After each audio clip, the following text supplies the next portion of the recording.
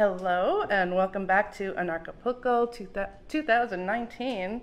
And we are here with the great G. Edward Griffin, who is one of the heroes of the revolution and one of my personal heroes. He is the author of Creature from Jekyll Island, which gives you the whole layout of the Fed and the creation of the artificial money system and the basically the enslavement through through money and also the author of World Without Cancer, which through talking about Laetrile and B17 as being primarily the, the cure for cancer, exposes the whole pharmaceutical medical industry, you know, debacle. You might say I have chosen my enemies well.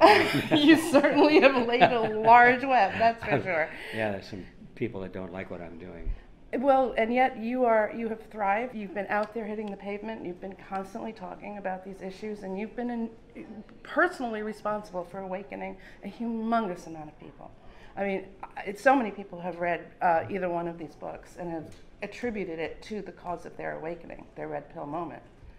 And that's, yeah, that's very rewarding to hear that because when I get involved in a topic like that, typically I have no idea where it's going to go. Mm-hmm. I, I, don't start off with a preconceived sure. idea, except there's something about it that is intriguing to me, like where does money come from and what causes inflation and you know that kind of thing. So I thought, well, I'll find out. Typically, if I knew at the beginning how complicated it was and, and all the forces of intrigue and opposition that are involved, I probably wouldn't touch it with a 10 foot pole. It's kind of like parenthood. So, yeah, well, yeah, parenthood is a good example. Yeah, ignorance is uh, sometimes very comfortable. right. Well, you gave this wonderful talk where you laid out. Um, I mean, we all know our, our governmental systems are in absolute disrepair. They should either go away completely or, or we have to throw everyone out. Uh, but what you did was you broke it down so succinctly, uh, giving us the true, the true base core problems uh, which centered on collectivism versus individualism, right? And uh, true education right there. Uh, and then you said, uh, you made a certain statement about the group, and, which, and you said once you get this, you'll never be fooled again. Mm. So I was wondering if you would want to talk about the group right now, the illusion of which.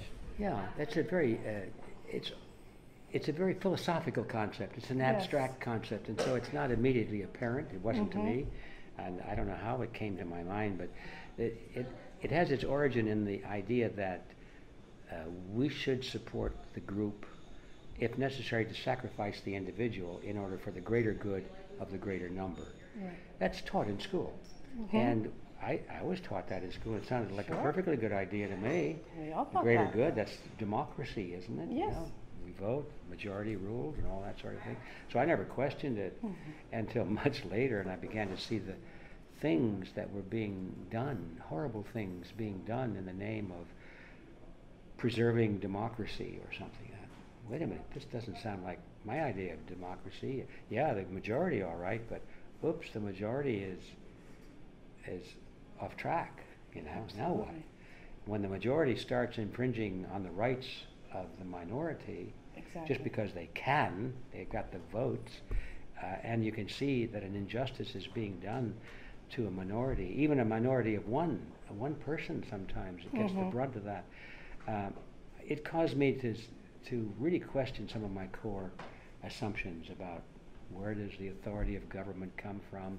Is majority rule a good idea? What really is this word democracy and why am I reading stuff from our founding fathers that said, hey, the last thing we want in America is a democracy? These are Mhm. jarring things, you know. So anyway, that's how it all got started. And uh, and as you know, because you heard my presentation, which was kind of a condensed version of what I hope will be uh, my next book, yeah, uh, dealing with that issue. Excellent. Yeah, I, I discovered in my research that there were certain common denominators mm-hmm. among all of the modern totalitarian systems. And it was a common denominator to communism, fascism, Nazism. You find it, you know, everywhere um, in in the literature of people who are, you know, a people's revolution, and it turns mm-hmm. out to be not that at all. Right. The people are being led by some powerful ruling elite. The French Revolution is probably the shocker of the, my life exactly. because I, I thought that was a rise up of the peasants. That's what I thought too. but when you really dig into the history, no, there were forces behind the scenes, hidden agendas. So Exactly. it, it's part of the learning process. So it led me to try and catalog the different common denominators to Mhm. all of the systems of modern society that we, some cases, fought wars to defeat. And it was Yes. stunning and shocking to find out that the elements that they believed in, that drove those systems, are elements that Americans believe in, hmm that I believed in. Yes, indeed. thought, wow, how can this be? I think I'm, I'm fighting communism, and I think I'm against Nazism and fascism, and yet my own government is adopting the principles upon which those beliefs are based, and I'm voting for it and saying, "Good show." Ouch. Yes. Yeah. Exactly. So that's what it's all about. Now more than ever. now more than ever. yeah. Exactly. Mhm. So I cannot wait for your book to come out. Well, thank Let's you. promote that far and wide. Well, I can tell you most of it. What I talked about today is already online. If anybody wants to read it. Wonderful. And where? Yeah. What? What's your website? Well, they have to come to our Freedom Force website. Freedom Force. Yeah, Okay. And uh, they they'll go to um, the Creed of Freedom. Really is the introduction to this topic, and that's Mhm. one of the side panel indexes. Okay. And once they get to the Creed of Freedom, I think they'll like what they see. It's sort of a condensed version of all this, and then at the bottom there's a link to something called the Chasm, Hmm. which is a PDF uh, file of a long essay that I'm writing on this. It's probably about 30 pages or something like that. Okay. And that's where it gets into the details of this. So anybody that really wants to, to dig it out will find it there in the chasm. Well, we'll link everything below the video. Okay. And well, also you have the Red Pill Expo coming up uh, in Mhm. June. in- Ah, yes. That, that's my favorite, of course. Because, you know, some of us get so deep into the ideology and the history. We get, Mhm.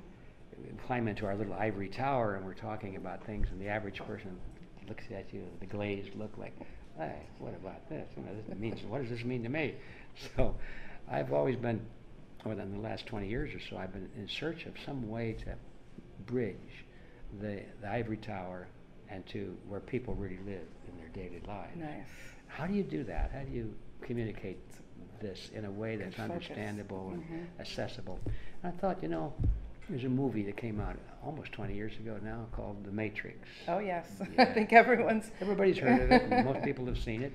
And in case you haven't seen it, it's simply the storyline where the human race is living in a huge illusion, Mhm. uh, being subjected by some mysterious power called the Matrix. And they're, what they think, it's all in their minds, they think they're leading normal lives, but it's an Mhm. illusion. Actually, they're, they're slaves, they're captives to the ruling forces. And to break out of that illusion, you take the red pill. Mhm. And if you, if you don't like reality, sometimes it's pretty harsh.